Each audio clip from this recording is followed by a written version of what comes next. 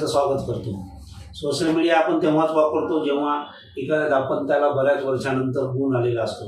आता ही आपली नेहमीची सवय झालेली आहे की बऱ्याच वर्षानंतर बऱ्याच वर्षानंतर. बरोबर आहे ना? हे आपल्यासाठी जरी कॉमन असलं पण यांच्यासाठी ते निश्चित कॉमन नाही आहे बरोबर आहे ना? असंच एक दाम्पत्य आज आपल्यासमोर बसलेलं आहे. फुलंब्री तालुका गाव धानोरा. बरोबर आहे? ताई पूर्ण नाव काय? रंजना योगेश सावंत. अच्छा रंजना योगेश सावंत बरोबर? धानोरा या गावातनं तुम्ही आलेले किती वर्षांनी गुण आलेले आहे आपल्याला? तेरा वर्ष तेरा वर्ष. बरोबर ना? आ, तेरा वर्षामध्ये आपण कुठे कुठे ट्रीटमेंट घेतले?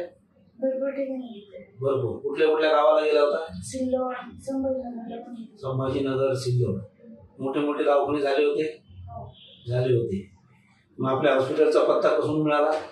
तसंच पाहुण्याने दिला होता. बा. इथं आम्हाला फरक पडला म्हणून तुमचे पाहुणे. आमचे पाहुणे. कुठं असतं ते? इथं संभाजीनगरला जातात. हां. त्यांनी सांगितलं की बा अशाच हॉस्पिटल येते तिथे जा तुम्ही. हां. तुम्हाला फरक पडेल. इथं तुम्ही सुरुवात केली. सुरुवात सुरुवात कशी झाली तुमची? सुरुवात फर्स्ट टाइम आलो आणि सरांना पूर्ण फाईल दाखवली आमची पूर्ण रिपोर्ट दाखवली. बरं.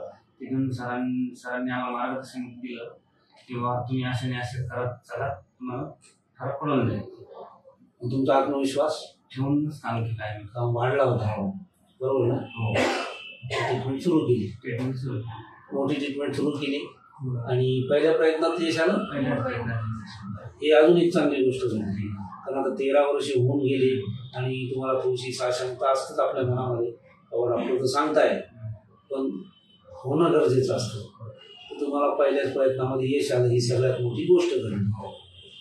जेव्हा तुम्हाला कळालं की बाबा आपल्याला आता रिझल्ट आलेला आहे. त्या दिवशी कशा भावना होत्या? आनंद झाला त्याच्या अगोदर असं वाटत कसं होणार? अच्छा म्हणजे ही सगळ्यात मोठी समस्या होती. म्हणजे की काही ती गोळी घेतल्याशिवाय ब्रेड येत नाही. सहा महिने तरी नाही घेतली तुम्ही तरी ब्रेड येणार नाही. माझी. अच्छा. पण इथं आल्यानंतर आम्हाला भरपूर मार्गदर्शन केलं. हा. म्हणजे तुम्हाला हीच काळजी होती बा आपल्याला पिरियड नाही त्याच्यामुळे बाळ शकते असं. असं वाटत. तुम्हाला.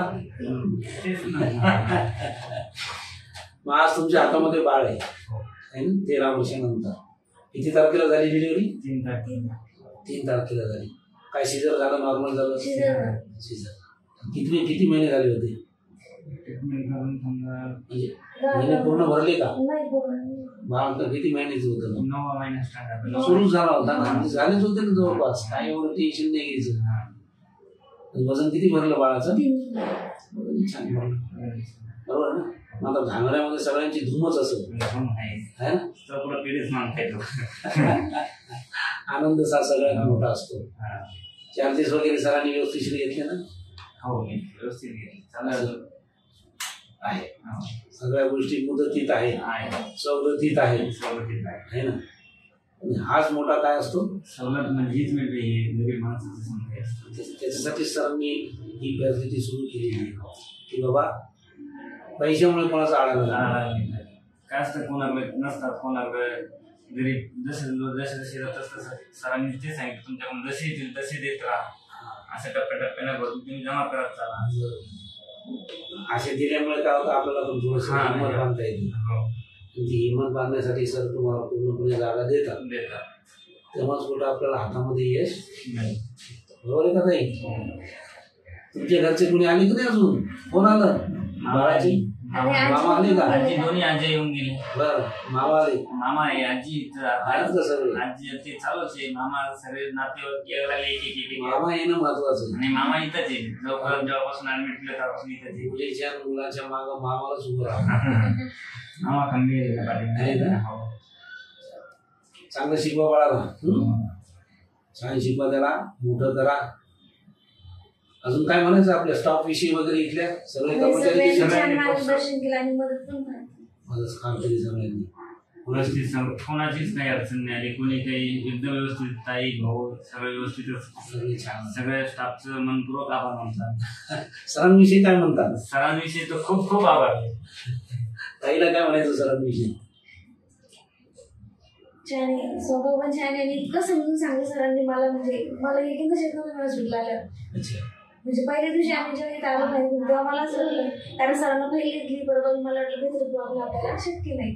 पण ते त्यांच्या मीटिंग सगळ्यांकडे आम्हाला लगेच गेले. भेटले नव्हते आम्हाला. नाही दुसऱ्या नंतर मग ती तिथं म्हणजे आमच्या मग फाईलमध्ये गेले सिस्टर ना आणि सर बाहेर. गेली. परत रिटर्न गेलो दुसऱ्या वेळेस आलो ठीक आहे. आणि आम्हाला मला वाटलं की आपली फाईल आता ही परत गेली आणि आपलं काही तसं नसतं तेव्हा सरांची भेट होऊन. मगच ठरवायचं असतं की काय होणार. तुमच्या सगळ्यांना हार्दिक शुभेच्छा. हं? तुमच्या पण घरच्यांना तुमच्या पण घरच्यांना आणि आमच्या सगळ्यांतर्फे तुम्हाला खूप खूप शुभेच्छा. चला बाय आताच आपण रंजना योगेश साळुंके यांचं मनोगत ऐकलं. तेरा वर्षानंतरचा त्यांचा त्यांना आनंद प्राप्त झाला आणि त्यांनी त्यांचं मनोगत व्यक्त केलं होतं. तुम्हाला माहिती आहे की आपले सेंटर्स जे आहेत परभणी जालना पुणे डोंबोली आणि अजून काही दोन तीन गावं आहेत तिथं सुरू होण्याच्या वेतात आहेत. तर त्या भागातल्या सगळ्या पेशंटला मला विनंती आहे की त्यांना पण अशा काही प्रसंगातनं ते जात असतील बरेच वर्ष झाले. ट्रीटमेंट घ्यायला काही अडचणी असतील पैशाच्या अडचणी असतील तर आपल्या सेंटरला एकदा अवश्य भेट द्या. त्याच्यातनं तुम्हाला पण काहीतरी चांगलं देण्याचा आम्ही प्रयत्न करू. धन्यवाद